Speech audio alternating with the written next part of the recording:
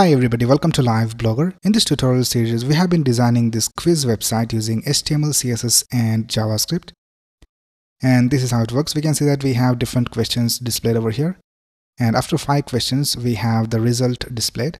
So we had completed designing this in the previous video. Now in this video, I'll show you how to add this to your Blogger website. So let's get started.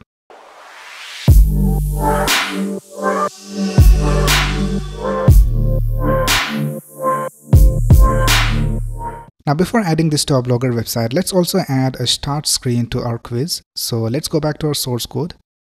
And here in the HTML, let's create a division. Let's give it a class of start button container. And in this we will have an h2 and uh, let's type general knowledge. And uh, then we will have a paragraph to have some information about the quiz. So let's type test your knowledge across various categories. And then lastly, let's also create a button and uh, let's give it a class of start btn. And here let's type start quiz. And uh, by default, we'll just hide this quiz container. So let's go to our style.css file. And here for the quiz container, let's type display of none. And now let's go ahead and uh, style this uh, start button container. So let's go ahead and type start button container. And uh, the first thing we will do is uh, we will set the position to absolute. And we'll just bring it to the center of the screen. So let's type top of 50%, left of 50%. And now we can see it starts from the 50% mark. By the way, we can see that the end screen is also displayed over here because the timer has run out. So for that, let's go back to our JavaScript file and uh, here we can see that we are calling this function called create questions over here.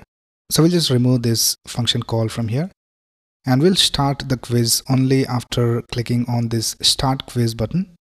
Right now we can see that it starts from the center. So let's go back to our CSS and let's tap transform, translate and let's set it to negative 50% and negative 50% for X and Y axis. And now we can see it is exactly in the center. But now let's set the font family to Roboto and sans serif. And let's set the display to flex and flex direction to column. And let's also align items to the center. Right now let's style this h2. So let's type start button container h2. And let's set the font size to 40 pixels and uh, let's set the margin to 0. Right now let's style this button so for the button, we have this uh, button with the class of start btn. So let's type start button container start btn. And uh, let's set the background color to this red color right here. Let's set the color of the text to white. And uh, let's set a padding of 8 pixels top and bottom and uh, 32 pixels left and right. And uh, let's also set a border radius for rounded corners and let's set the value to 8 pixels. And let's remove the border. So let's type border none. And let's set the font size to 24 pixels. And let's set the cursor to pointer and the text transform to uppercase. And let's set the font weight to bold. And this is how the start screen looks Right now let's go back to our HTML file and uh, here we can go ahead and delete all these things inside the quiz result because we are generating all of this in the JavaScript file. So let's delete everything inside quiz result. Right now the next thing we need to do is uh, we need to start the quiz when we click on this start button and we need to hide this start button container after that. So here let's go ahead and reference those two elements. So here let's tap const start button container. And let's set it equal to document.query selector start btn container. And then let's also reference the start button. So let's type const start btn equals document.query selector start btn container start btn right now the next thing we need to do is when we click on the start button we need to hide this start btn container. So let's add an event listener to this start btn so here I'll just type start btn dot add event listener. And let's listen for the click event. Let's create an arrow function. And here let's type start btn container dot style dot display equals none. And then we need to display this uh, quiz container because we had hidden it over here. So let's go ahead and display it. So let's type quiz container dot style dot display equals block and then we need to start the quiz so we need to call this function called create question so let's type create question. And uh, now let's see whether this works. So let's go back to our quiz and let's click on the start quiz button. And now we can see that the quiz gets started and everything is working all right. And then we can retake the quiz. But if we refresh this page, we can see that we get this start screen and we have to click on the start quiz button to start the quiz. Right now, let's go ahead and add this to our Blogger website. So for that, let's go to the Blogger dashboard and here I have logged into my Blogger dashboard. And uh, let's go ahead and create a new post for a quiz. And here let's type general knowledge quiz. And uh, here the first thing we need to do is change this into the HTML view. So click on this button and click on HTML view. Now here you can add your HTML, CSS and JavaScript code. So first of all, let's add the CSS. I'll just create a style tag for that. And in the style tag we will add the css so let's go back to our source code. And let's go to our style.css file and let's copy all this css from here. And let's paste it over here.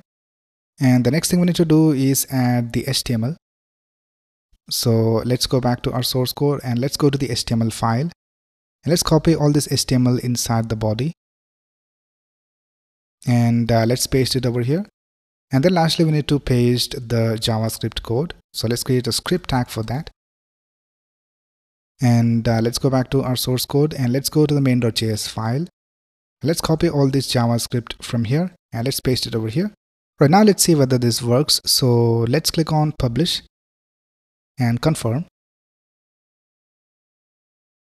And here we can see our post has been published. Let's click on this view button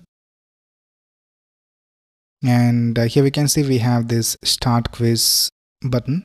But here we can see that the positioning of this uh, start button container is not correct.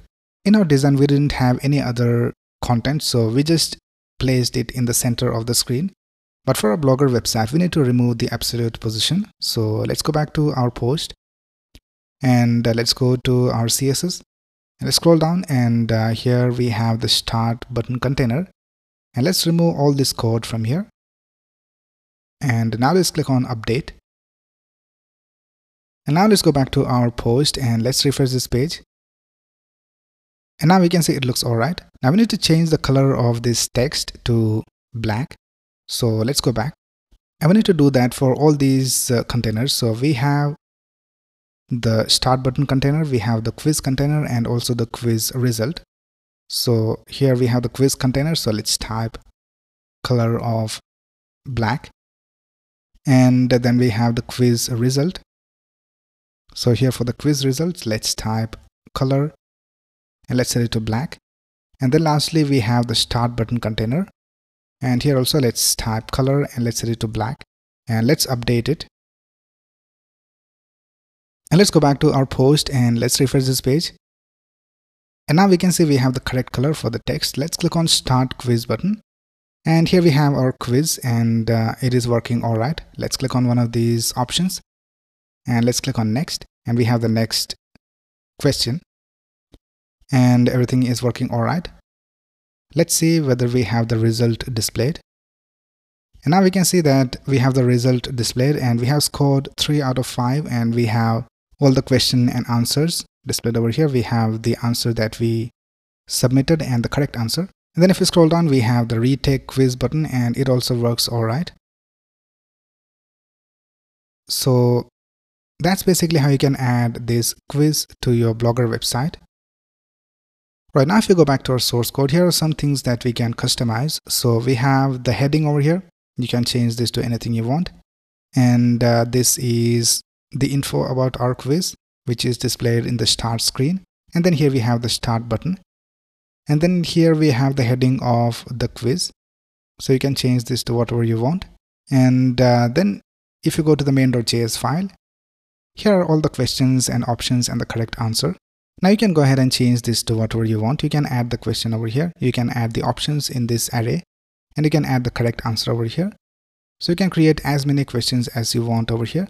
And if you scroll down here, we have the maximum number of questions that we can have for this quiz. So you can change this to whatever you want. For now, I have set it to 5.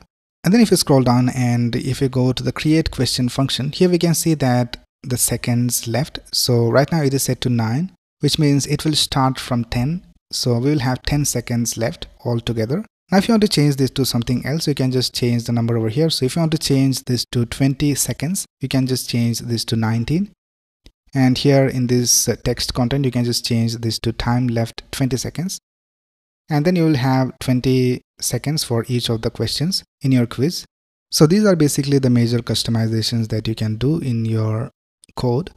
Right now let's go back to our Blogger website and let's go ahead and add a new quiz. So adding a new quiz is really simple. You can just go ahead and uh, copy this whole code from here and go back.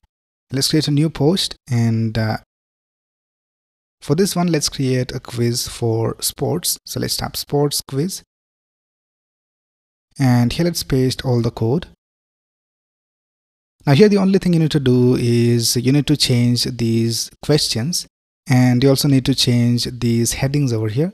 So here I'll just change this heading to sports and here I'll just change this info to test your knowledge about sports.